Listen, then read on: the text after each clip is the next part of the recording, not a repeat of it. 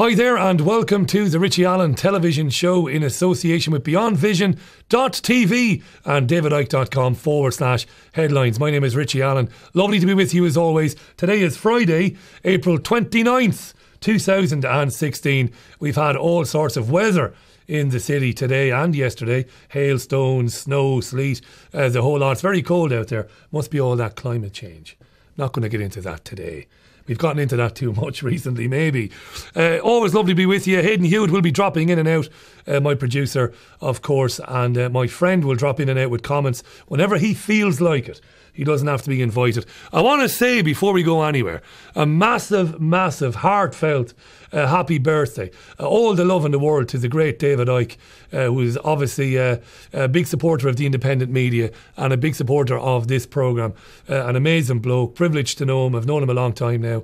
And uh, love you, mate. Happy birthday. I know you've got a big day planned with the grandchildren and the family on the Isle of Wight. I'm sure it'll be special. Busy times ahead for David with the Worldwide Wake Up Tour taking place through 2016 and 2017. And I must mention, before we go any further, that if you bought a ticket for David's June 18th appearance at the Empire Theatre in Shepherd's Bush, it isn't happening there now. It's been moved to the O2 Brixton Academy because essential essential maintenance being carried out on Shepherd's Bush Empire Theatre won't be completed in time. So the uh, event has moved just down the road to the O2 Brixton Academy. That's important uh, because it means there are extra tickets available. It's a bigger venue. Go to davidicke.com for all the details. Happy birthday, mate, and thanks for everything.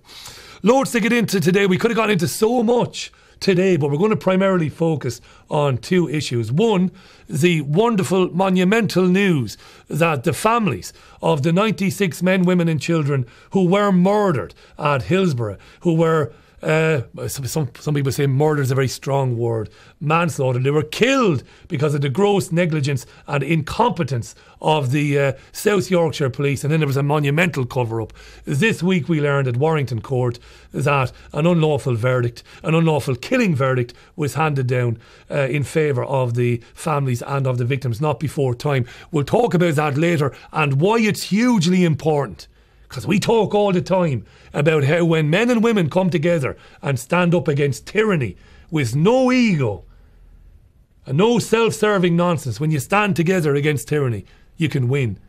We'll talk about that a bit later on. But today, we're going to kick off with the fact that um, the Labour Party apparently and its supporters are a bunch of anti Semitic racists. Well, that's if you believe the news today. I could go on BBC News right now uh, Sky News, The Telegraph, uh, the Labour Party has uh, become an endemic, or it, it has become an institution apparently, which is beset by endemic anti Semitism. I don't think it has. We'll get into that shortly. What's kicked all this off? Well, Naz Shah, Bradford MP, tweeted or retweeted some things a couple of years ago that have come to light again about America and about Israel being co opted or relocated to America the former mayor of London, Ken Livingstone, uh, two time mayor, I believe, of London, the most recent time, 2000 to 2008, I believe. Uh, Labour mayor of London, am I right in saying around about that, something like that? I'm always wrong with these things. You might say research it, Richie, you've only got to write it down, but I'm a lazy bastard. I've got a big memory. I think 2000 to 2008. Uh, Hayden, roll it. We've got the uh, Ken Livingstone comments made to Vanessa Feltz on BBC Radio London. Here it is. Magic. She talked about relocating Israel to America. She talked about what Hitler did being legal. And she talked about the Jews rallying, and she used the word Jews, not Israelis or Israel. You didn't find that to be anti Semitic? No, it's completely over the top. It's not anti Semitic. I mean, let's remember when Hitler won his election in 1932, his policy then was that Jews should be moved to Israel. He was supporting um, Zionism. His boy went mad and I ended up killing six million Jews. But the simple fact in all of this is that I Naz made these comments at a time when there's another brutal Israeli attack on the Palestinians. And there's one stark fact that virtually no one in the British media ever reports. In almost all these conflicts, the death toll is usually between 60 and 100 Palestinians killed for every Israeli. Now, any other country doing that would be accused of war crimes, but So Ken was suspended. He was suspended by the Labour Party for those comments. Why was he suspended by the Labour Party for those comments? Well, we'll come to that. He basically said that in uh, 1933, Adolf Hitler did a deal with uh, the Zionists in Germany. He said that he supported Zionists. That particular time he did. Maybe Livingstone could have gone on to say he supported the Zionists in wanting to relocate uh, uh, German Jewish people to uh, to Palestine. We'll come to that in a few minutes as well. But I don't think there was anything wrong with what Livingstone said to Vanessa Feltz. I also don't believe that what Naz Shah said about if uh, America wants to support Israel to the extent that it does, maybe we should relocate Israel to the United States. I don't believe that is anti Semitic. I understand some Jewish people being pissed off by it, but I don't believe it's necessarily anti Semitic. Although I am uh, reliably informed by my friend Hayden Hewitt that she has since profusely apologised for those comments. But let's, let's, let's look at the fallout of it. Chris Bryant is the shadow leader of the Commons. Um, we've got a clip. This is uh, Bryant yesterday talking about uh, apologising or not apologising for anti Semitism. Have a look. Mr. Speaker, as Passover ends on Saturday, let me say again, as clearly as I possibly can, anti Semitism is wrong, full stop, end of story. I am sick and tired of people trying to explain it away, and yes, I'm talking to you, Ken Livingstone. Of course, the illegal settlements are wrong and the Palestinians deserve a better deal. Of course, too, rocket attacks on Jewish kibbutzim are wrong, and Hamas and Hezbollah must acknowledge the right of Israel to exist. But I was taught to judge people not according to the colour of their skin, or their race, or their religion, uh, their gender, or their sexuality, but according to the strength of their character. I love the way guys like Bryant say things like, it's okay to criticise the illegal settlement activity by Israel in Palestine, but then moves on to talk about the crimes of Hamas and Hezbollah, who I've, by the way, never supported and never agreed with. Look back through my catalogue of thousands of radio and television programmes. Violence is wrong no matter who commits it. But it's okay to criticise that, says Bryant. When the fuck has Chris Bryant or any of his colleagues ever done anything about that, though? Isn't that interesting, that? The illegal settlement activity is wrong. What are you going to do about it, Chris? What have you ever tried to do about it? What have your colleagues in Labour or in the Parliamentary Labour Party ever done to criticise or condemn the Israelis for that? When we support the boycott, divestment, and sanction movement against Israel, you, uh, a coward, say that it's uh, it's racist. We sanction any other regime in the world, quite rightly. The Iranian, uh, some of the uh, human rights abuses committed in Iran are heinous. Uh, Saudi Arabia, the worst regime on planet Earth. North Korea, let's condemn that. Let's sanction these countries. So we've never sanctioned Saudi Arabia. Let's not talk about sanctioning Israel. Might come back to Saudi Arabia. An extraordinary thing happened then just after this. Uh, Livingstone was walking through the lobby at Westminster. While he was walking through the lobby, he was conducting a live radio interview with James O'Brien from LBC. He couldn't make this up. Absolutely madness. So he's on the phone to O'Brien, right? And he's given all of this. And he's running to the BBC studios in Westminster. While he's doing all that, this happens. Have a look disgusting racist. Oh, Rewriting history, you're a disgusting racist. You say it's not true? You're, yes, you're a lying racist. Really? Why don't you go and a, check a Nazi history? apologist. A check Nazi apologist. Check your history. A Nazi apologist. You're a disgusting Nazi apologist, Livingstone. Rewriting history. Go back and check what Hitler did. Go back and check what Hitler did. There's a book called Mein Kampf You've obviously never heard of it, written in 1925. Yeah, well, problem here, yes, you've never read it. You've no, you know nothing about it. You know nothing about what Hitler did in 1932. Dachau concentration camp in his first 50 days. The race purity laws in his first 100 days. And you dare say, you dare say that Hitler supported Zionism. You're, you've, you've lost it, mate. You need help. Go you back need to help. saying. You need help.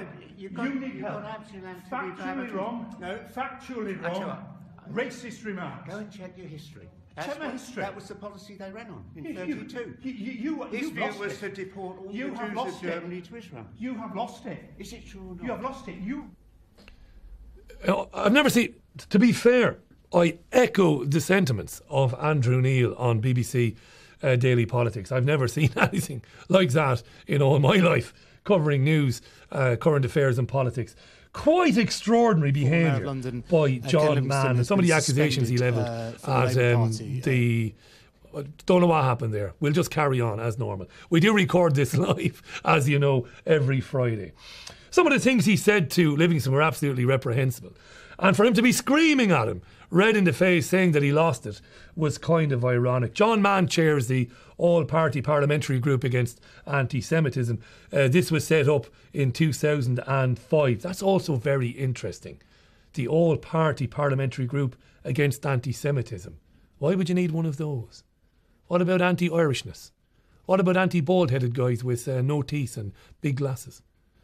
What about anti Islamophobia uh, parliamentary groups? Do they exist? I'm interested in that. The inquiry. Uh, in 2009, he was given the American Jewish Committee's Jan Karski Award in recognition of his commitment to fighting anti Semitism in all of its forms. Talk about anti Semitism in uh, a couple of minutes and what anti Semitism really means.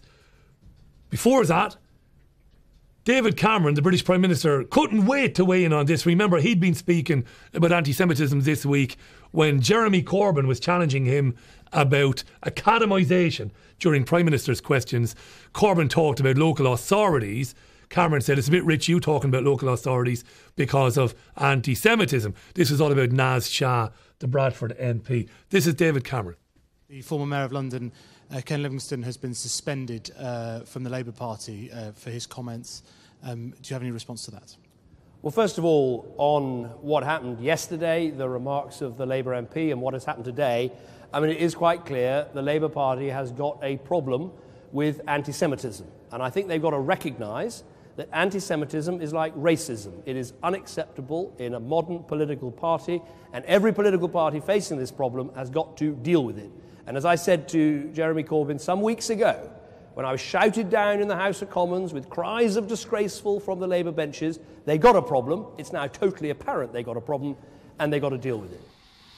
And while all of this is going on, and the mass British media are massing together to label anybody who criticises the activities of the State of Israel as anti Semites, while all of that's going on, what's getting lost in it, in the debate, is what Livingstone actually said when he was asked the question by Vanessa Feltz on BBC London Radio, when he was asked about Naz Shah, because Shah also went on to say that what Hitler did was legal.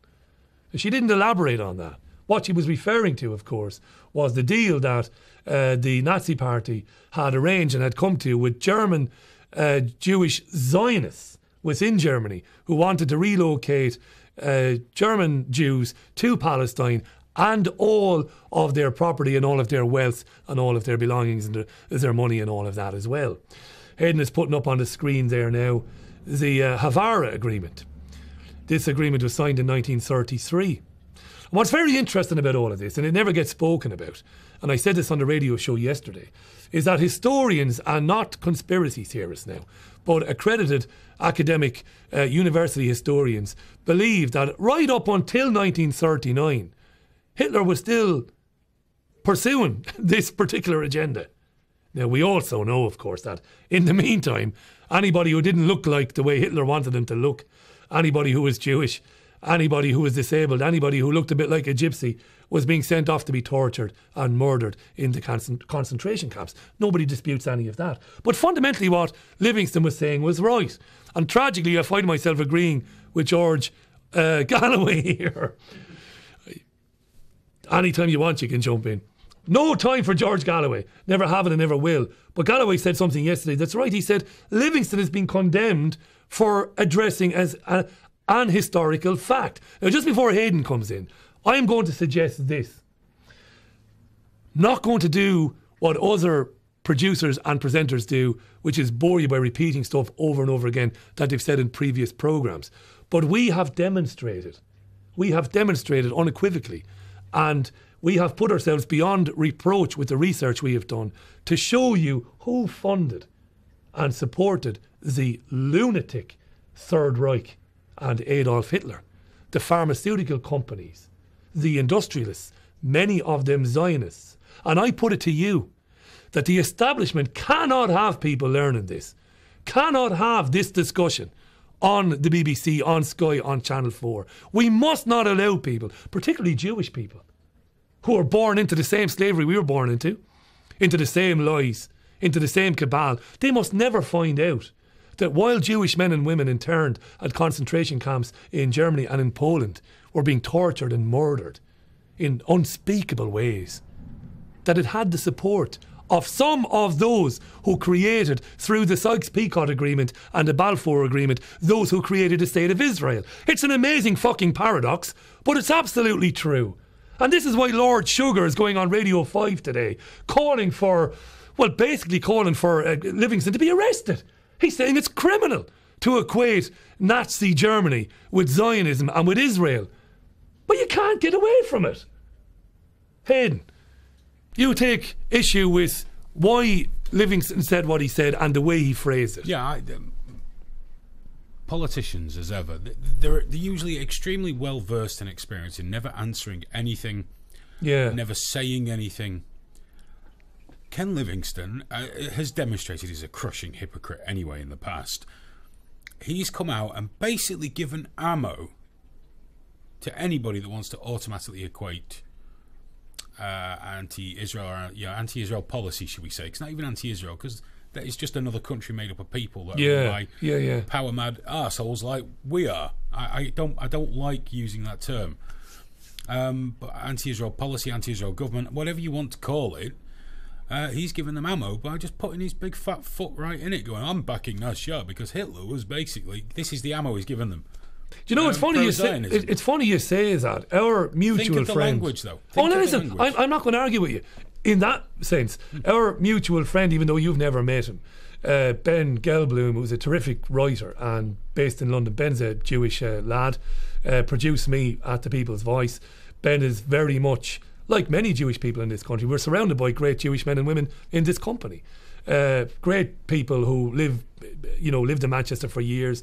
Uh, many of them, as I've met here, who've got serious issues with the behaviour of the Israeli government. Ben agrees with you. He said that basically Livingstone has given them a stick to beat them with. And I can't really argue with you there, but I'm going to say this they're doing it anyway. We're going to play a clip from Lord Levy in a minute.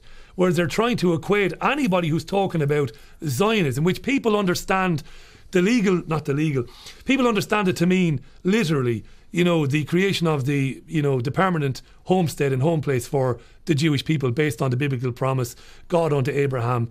You know, Golda Meir said it, didn't he? You know, how can you call into question the legitimacy of Israel? It stands as a promise by God Himself. Now, that's what people understand. But Zionism is much more than that. And that's what Icke means.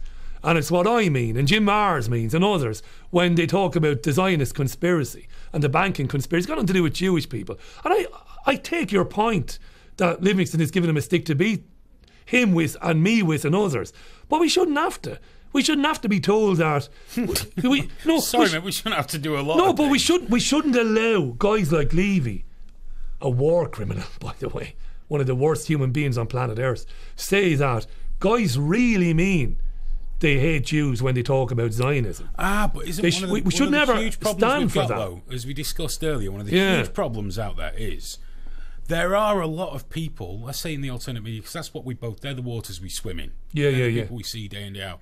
There are a large number of people that genuinely must check under the bed for Jews before they go to sleep at night. Yeah, yeah, yeah, Same yeah. with the Muslims and things. I can't speak get for the them. panties in a twist. And you're right. And people who when we, So we talked about the Rochdale it. thing. It always stains it, and no matter where what your opinion might be on any side, you will always find ammo to discredit those you're Yeah, up against. but I'm not going to answer for now. these people, Hayden.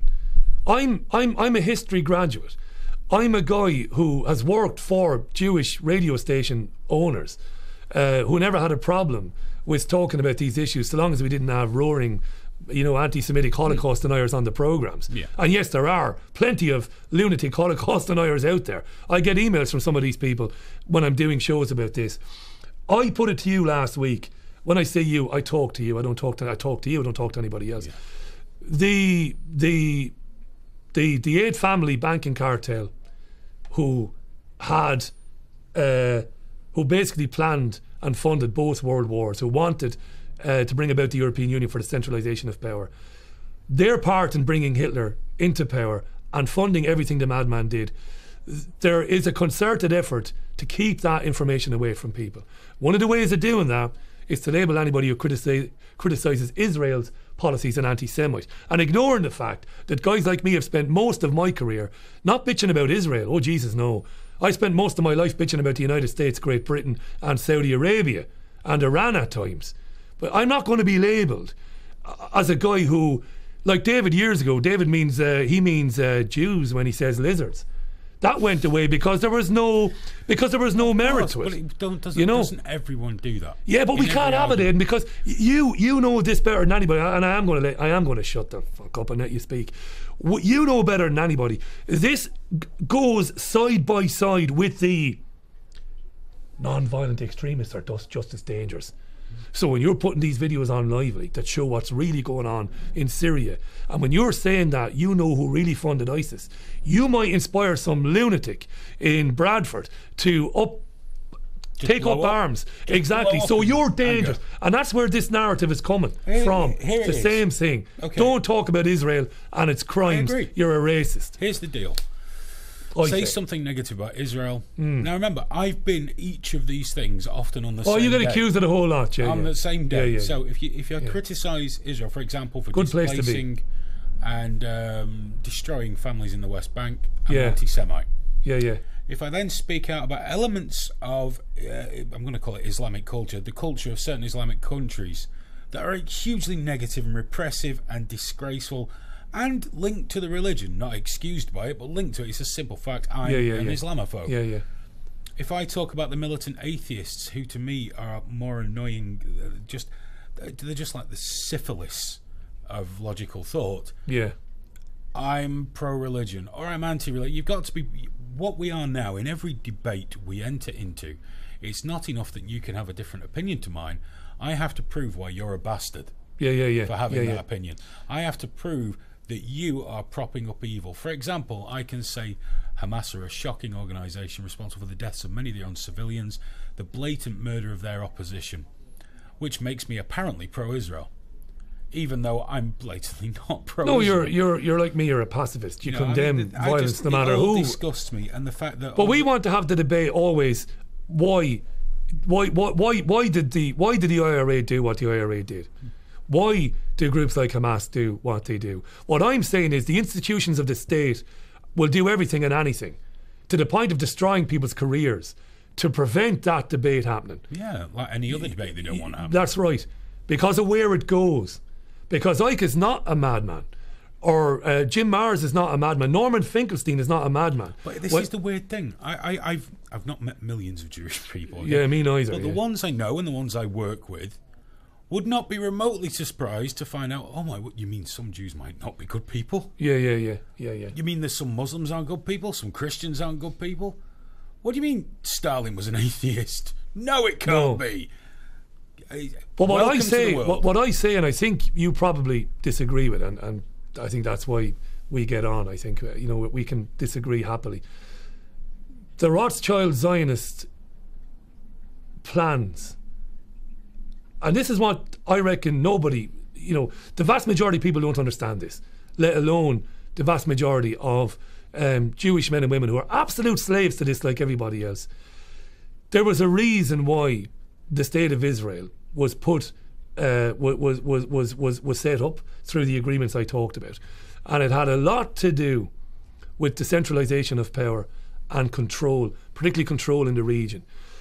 And the proof of it is in the, you know, the Fritz Thyssen um, uh, archives, in the IG Farben archives, and all these people, the Prescott Bushes, and all these people as well. That's the proof of it. And those most vocal, those most vocal, I'm talking about pure Rothschild Zionists, the David Camerons, the George Osbornes, those most vocal about anti Semitism couldn't give a shit about the plight of Jewish people. No, of course. not. Couldn't give a shit like the about Jewish the people and a home for the Jews. Couldn't give a damn. Richie, it's like the regions in the Middle East that Yeah. could not care less Couldn't if they give tried about a the damn. Palestinians. No, no. They treat them like dirt wherever they Yeah. go. It's all a tool. So this, to me, if I'm going to believe, if I'm going to buy into the whole Rothschild agenda of centralisation of uh, Yeah, yeah. population decimation, and all that, this is again where I'd go. Well, why even call them Zionists? Because they're not. It's just another tool. To No, we call them Zionists because they used the. the reli- you could say the religion. country as well. Yeah, but but they they used the the the movement uh, of Zionism as the for two reasons. But surely you could call them just globalists or Europeanists. No, because the most important because and and again my my mate Ben Gelblum agrees with you here. I must say uh, on this particular point because Hayden they used what happened to the Jews in the Second World War, and it did happen by the way. Because we do have lunatics watching this now who will be uh, putting comments under YouTube saying that we're fucking liars because we're not acknowledging that the Holocaust never happened. Did happen, by the way. Because they deliberately used the support for the state of Israel based on what happened to the Jews in the Second World War and historically to the Jews, it must be said. They used that as a cover. Okay. As a thou must never criticise what we're doing. I accept because that. fundamentally, a lot of these people are Zionists. But these, you see, this, this thing with the Rothschilds and everything else has been going on a lot longer than the state of Israel or the Zionist movement. Yeah, yeah, yeah. But yet we associate them by the thing that has the best hook. Because it does have a great hook. Because you can hook into a lot of people. We can't call them Europeanists, globalists, because it's not as exciting. Zionists, that's been the big thing of the last hundred years. We'll plug into that. But it's how they've hidden what they're doing But here. we've also it's given, through the support of Zionism. given the lunatic, and that's important. the ammo. Yes, but but but again, what what can I do about that? Nothing. What what can any is- researcher well, we do about that? perpetuate it. Yeah. When we go the state of Israel, well, it's just a tool. Yeah. If you honestly believe in the Rothschilds and these small number of power brokers controlling and wishing to rule the world, decimate the population, encourage all Well, the we, terrible we, things. well, we can leave the decimation of the population aside Okay, for a all the minute. terrible things. Yeah, we're we're we're talking about um, uh, a central banking conspiracy that started with the setting up of the federal. It started before the setting up of the Federal Reserve. The real reason and, the Civil War. Exactly, and um, last week on last week's show when I was talking about how these guys funded.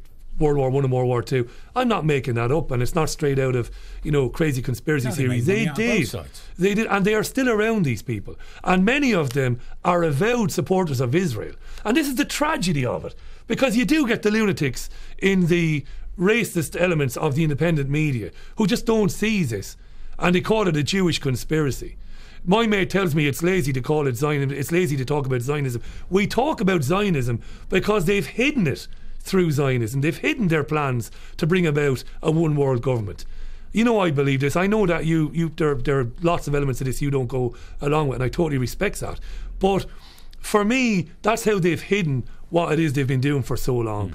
Because they make themselves immune from it by their avowed Zionists. When really they're not really Zionists. That's the irony of it. They couldn't give a shit about say, Israel I put it to or Palestine. That, uh, again, We could be here all day, but it's good this is correct, I will put it to you. They don't give a shit what you think, what you say, what you do, or anything because they're untouchable. We already know people of even a, a, a power level of a prime minister or the cabinet are untouchable. Yeah, yeah, Untouchable yeah, in real and, terms. and, and, and these people are These people are the, because whether I agree with all of what you say or not, I'm not foolish enough to believe the seat of power in our country is David Cameron. Or Yeah, yeah, certainly yeah, yeah, absolutely, yeah. And in America, it's not Obama or whoever comes next. yeah. The seat of power is not that; it's the people behind the throne. The It's- power behind the throne. It's with a tiny amount of represent. people. And where David is, I think where David is right, um, and he used to get ridiculed for it, not so much anymore, is that these particular families and the royal families, bloodline is very important to these people. I really do believe that. This, you know, I, there, there's a lot, you know, the, the perception, deception, any of David's books, you know, whether you believe it or not, they're, I'm not speaking to you now, Hayden. I'm speaking to that particular viewer who uh, doesn't agree with me. Bloodline is important to these people. And world domination is what this is really all about. It really is. It's the transfer of every last natural resource in the planet into the hands of a few people. And it's not the 1% either. It's not the 1%, it is a handful of families who, through the generations, have been manipulating world events to bring it about. Yeah, there are times when I look in the mirror and I can't believe it. Uh, but um, will we just run Levy's clip? Just run Levy because I, I want people to hear what Levy had to say, the war criminal. Yeah. It's absolutely crucial that the leadership of the party stamp this out um, for once and for all, and our system needs to deal with it. Because, you know, there, there, there can be criticism of the state of Israel, but anti Semitism, being having an, uh, uh, using the word Zionist as another form of anti Semitism, frankly, can no longer be tolerated. Right. Brilliant stuff, Lord Levy. Look, I, I could be, you know, I could be cheap. I could waste time talking about Levy and the eight years he was Blair's Middle East envoy. I could talk about the fact that he was questioned by the police for cash for honours. I know Levy would say that the charges were dropped and he was never uh, officially charged with anything. But this is a monumental scumbag. And I'll tell you something else. I'm not going to tolerate. I am not going to tolerate being called or being labelled as anti Semitic or as somebody who's hiding my loathing of the Jews through my uh, criticism of the Zionist movement. Not having it. It's as simple as that. This is the Richie Allen television show brought to you in association with BeyondVision.tv and DavidIcke.com. Uh, we'll be back in a minute after these.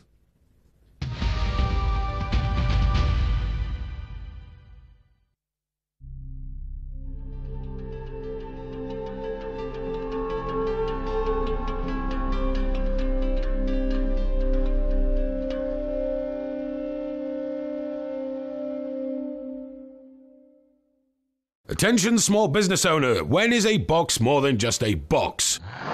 No! No!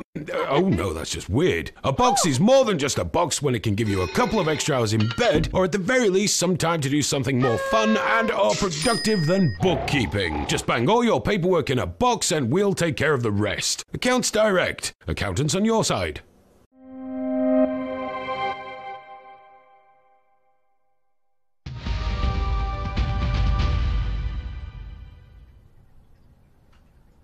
Welcome back to the Richie Allen Show in association with BVTV and DavidIcke.com. Once again, happy birthday, Ikey. 64. Right, moving on. A couple of quick plugs. Uh, check out the LiveLeak show every Thursday at 9 pm British summertime. Uh, my mate Hayden Hewitt and a cast of thousands uh, having fun.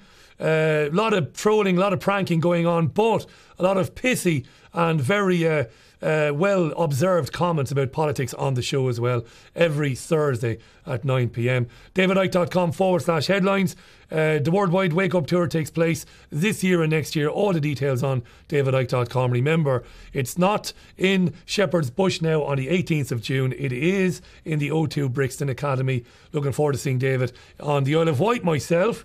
Uh, for, for, the warm up event. I'm going to see that, and I'll see him then in January here in Manchester, which is nearly sold out. Fantastic. Looking forward to that. This week was a great week for people like me who have said for years that the establishment, the tyranny, the paradigm we live in must be torn down brick by brick. We must not vote, we must not put our faith in politicians, and we must reject the parliamentary and the democratic process. We must do that. We must stand together. What happened this week was positively brilliant. The families of 96 men and women and children whom were unlawfully killed, as we have known for years, at a football match in uh, Hillsborough, in Sheffield, on the 15th of March. It was the 15th, Andy, the, uh, of April, excuse me. I always get that wrong.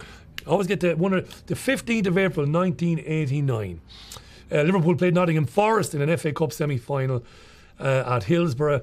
Uh, 96 people were crushed to death. It was horrendous. It was shown live on Irish television. RTE had the rights to the game. I was in hospital with pneumonia. I was watching it and I couldn't believe what I saw. We've never seen anything like that ever again in terms of a, as graphic as that. These days, they wouldn't film it, they would cut away from it, and you couldn't see what was going on.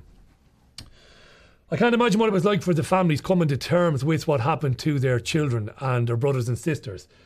Even more so when, uh, and Hayden's going to put it up on screen now, when the Sun newspaper, under the guidance of a guy called Kelvin MacKenzie, put this on its front page four days after the disaster. Some fans pickpocketed uh, victims, some fans urinated on the brave cops, some fans beat up a PC giving the kiss of life. Further into the newspaper, they claimed that one of the women who had died uh, on the pitch, uh, or who died after being brought out onto the pitch, was actually abused by some of the fans. This is where you start to get angry. But I'm not going to. I, I, I'm not going to get angry. More so because I was trained as a journalist at WLRFM in Waterford many years ago. I've worked in commercial and national radio. And nobody would have believed that. When Kelvin MacKenzie was given that information, nobody would have believed it. Kelvin, uh, we were getting uh, some stories in from a, a bureau in Sheffield and from the cops. They were abusing the dead and they were pissing on the police. No, they weren't. They ran the story anyway. The same day the verdicts came in of unlawful killing, unanimous verdicts came in. The um, the scumbag MacKenzie. Thanks, Hayden. Those are the, the, the newspaper headlines from the following day. Auspicious or inauspicious, auspicious by their absence or the Sun. The Sun didn't want to talk about it. Apparently, there was a story inside. Didn't want to talk about it. Conspicuous, I should say, by their absence. Conspicuous. Hayden, um, MacKenzie was captured by a journalist going into his local supermarket. A few hours later, let's have a look. He didn't look too well. Here, have a look. I absolutely agree with it. It's been an absolute disgrace what the police have done in South Yorkshire this last 27 years. I feel desperate for the families and the people, and I also feel that in some strange way I got caught up in it. I feel terrible for them. Strange way you printed it on the front of your yeah, paper. Of course I did. Everybody got sent this agency story. I printed it in that way. But honestly, the way it affected the way it affected those families was a disgrace. I'm delighted for the families. Hayden, jump in anytime you want. Monumental scumbag. Now, you founded one of the world's biggest websites and most used websites in the world. You are a journalist. I am a journalist. We are skeptical bastards, the two of us. We hear stuff on a daily basis. We don't take it at face value. We look at it and see is there any merit to it, and then we talk about it. If I came to you and said women were being abused while people were getting the kiss of life, those brave policemen were being pissed on. What would you have said at the time? I'd have run the headline Richie Allen claims women were being abused and thereby covering all bases. Uh, if, if, if it was as they say, oh, we were just relying on information from the police. Is this the only time in history they've not put police claim? Yeah. Because isn't that what you're supposed to do? You're reporting.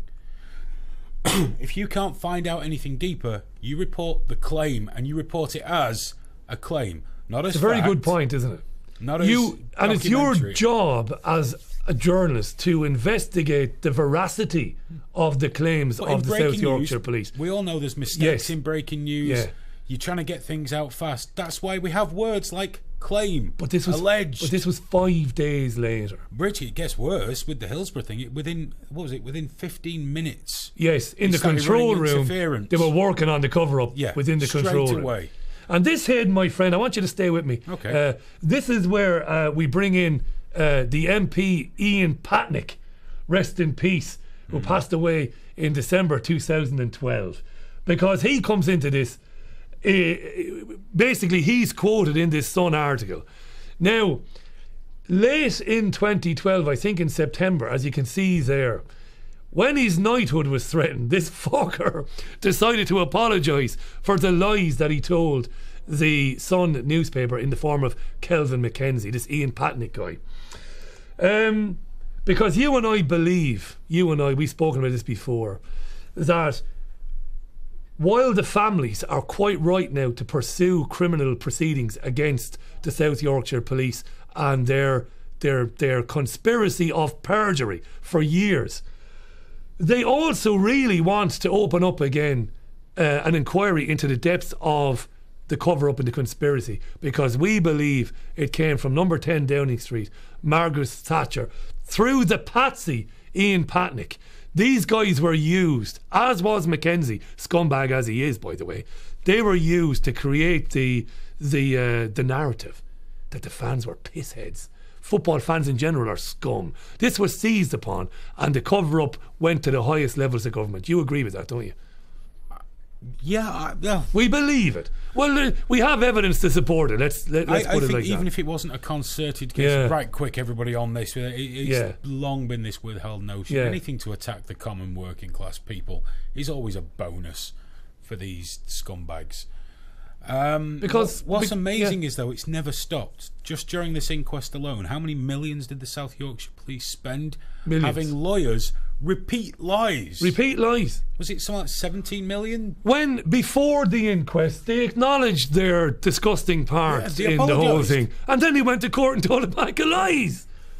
What a waste of taxpayers' money! Now, hey, by the way, not for the families. We're not talking about the families here. They had to have their day in court. Oh, yeah. But it should never have come to that after 26 No, what's years. a waste is the nearly 20 million pounds. Oh, it's 17, I wish I could remember the exact figure. Probably about 17 million. yeah, it's something like that. millions. Yeah, yeah. Spent The barristers get a huge chunk on of it. yeah. Yeah. Do you know the families wouldn't have had to go through anywhere near as much if they'd just gone. Here's the evidence. This is what happened. It would have been a far shorter inquest, far less tortures. They'd have gotten justice far, far sooner. Hadn't they already waited long enough? Why drag it out another couple of years? It's just torture for them. You know, I'm going to say this, and we're not beforeitsnews.com, We're not yournewswire.com either. But I am going to say this. Because of the depths to which that conspiracy of silence went, I find it remarkable that a couple of months after Patnick's apology, he turns up dead. Now, this ain't, you know, as I said, you wouldn't be involved if it was. We're not one of those ludicrous programs that just make stuff up. But I looked at all the obituaries of Patnick on the uh, on the internet yesterday, finding a cause of death. Now it probably was published somewhere at the time. He might have died of a short illness, or he was 83, 84. Let's be honest about it. It's not old, old, old, old, but it's old, old. And uh, he might have passed away. But I find it fascinating because if Patnick was used as a patsy by the British government to spread malicious lies about the Liverpool fans and by football fans in the wider society, and then he starts coming out apologising. Yeah, it wouldn't be on be beyond the bounds of possibility for somebody to drop something in his uh, in his cornflakes. You know, Well, let's- I let's- just wonder. Is all I'm Because of the type of show we are, let's play the other side. Yeah. He's a politician. Yeah. They lie as easily as they breathe. Uh, He's when trotted they a open line out. mouths, He's yeah. suddenly thought it's more politically expedient if I apologise. Yeah. To save my own. It's more politically expedient. Terrible, two terrible words. Politically expedient. You are right. So You we have we're to look at both sides. You have to look at both sides of it. But one thing we do know is is that if number ten ordered the cover up of this or the deep state, and I think they probably did do, they will do anything to stop that coming out. I believe the South Yorkshire police are absolutely reprehensible. They should go to prison uh, for a time. Those involved in creating the lies from the word go, let's blame it on the pissed up uh, rowdy fans. Put them in jail and all that. But I believe that Patnick and the fans, and even the disgusting Kelvin MacKenzie, were used. They were patsies. It was a monumental cover up, I believe. Can I? I, know can't prove it though. It's almost trite, but let's Yeah. put this in terms of the world we live in, the alternative media. Yeah. If a horrendous man like Chris Spivey, Yeah, yeah. who for a very limited amount of time really harassed the family of Lee Rigby, He did. Yeah, yeah, really he did. yeah, dreadfully yeah. harassed them, Yeah. said the most hateful things. Yeah. If he can be banged up for it, why on earth can't we bang up the officers responsible for the uh, elongated pain and suffering of these families? Is it Yeah. much the same thing. They didn't give a shit, I expect. I know that's not me saying. Well, if they, they Spivey shouldn't have been put away. He, I'm fully up for him getting his wrists slapped. I want to see these guys get their spanking as well. I think it'd be only right, only fair that some measure of justice is uh, handed out to these families. Say this is all we can do, but it's something. Brilliantly said, my friend. Brilliantly said. And I said it on the radio the other night. The fans, the, the families of the fans have been in prison for years. And I compared them to the Birmingham Six and the Guildford Four. They weren't behind bars, but they were in a cell. They were in, they were in an invisible prison of torment and torture. That their loved ones were accused of being scumbags who caused, by reckless endangerment, the deaths of their friends and of their fellow supporters. So I say they should be compensated by the government to the tune of whatever, and they should never pay taxes ever again. If we can, I really believe that. If South Yorkshire Police can pay 17 million for Absolutely right.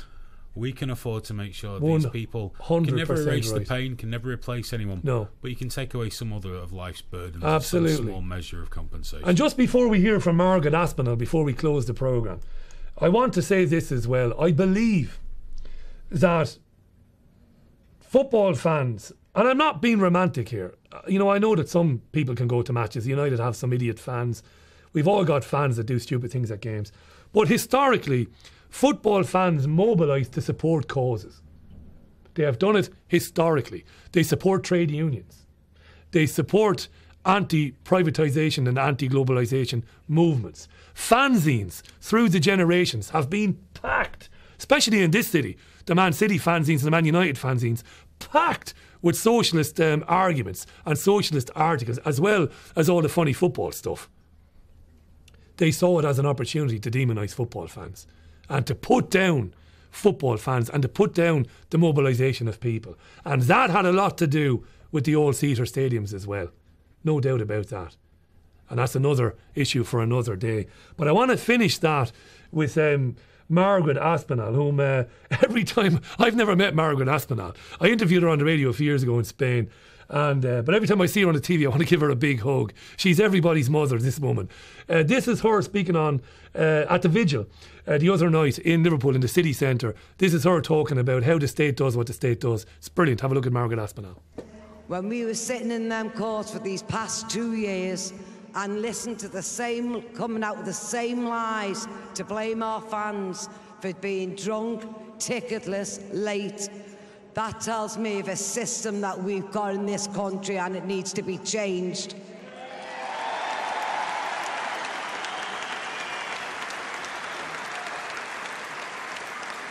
I am not scared to say this, but the system itself, the police force of South Yorkshire ought to be ashamed of themselves and hang their heads in shame. They put the families through hell and torture for all of these years. Along the way, we've lost an awful lot of our families. There's so many who have died and not even seen truth or justice yesterday. That saddens me. But we will make sure that the people pay the price, whatever way, with accountability for what they caused this city, these people, and our families and our fans. Congratulations to Margaret Aspinall and all the families of the 96 people who were unlawfully killed at Hillsborough on the 15th of April 1989. What they've shown, I think, is that you can move mountains if you work together in big numbers and leave ego and leave self preservation and leave self promotion to one side and act for the common good. And that's what I've been most amazed about. And I've covered this on radio for years. In Spain and Ireland, I've been talking to the victims' families for years. And what I've noticed about them along the way, there's never been anybody in it for their own end. And if you do that, you can move mountains and you can destroy the tyranny that enslaves most of us today, the central banking cartel that enslaves us through the European Union, through everything else that we talk about on this programme. If you stand up to it, get up off your arse and get out of your house, say we're not having it. The Liverpool family said, we're not having it. Might have taken them 26, 27 years to get justice. They started the process. It was an unlawful killing. Now they can go after the Duckenfields and the others and the MacKenzies for what they did and go after them and go after the conspiracy and who really covered it up. That's it for this Friday's edition of the Richie Allen Show in association with DavidIcke.com and BeyondVision.tv. Thanks so much for watching it. I look forward to talking to you again next Friday. Uh, at the same time, he says, we might be live next Friday. We'll see how it works. We might not be. Thanks to Hayden for production, and thanks to you for watching. Have a magnificent long weekend if you're in England, and wherever else you are in the world, have a great weekend. Until next time, bye for now.